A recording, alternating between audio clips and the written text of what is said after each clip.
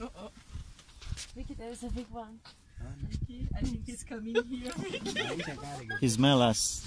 oh my god! Smelling us. Hey! Can you help here? I think this one is a male. It's so big.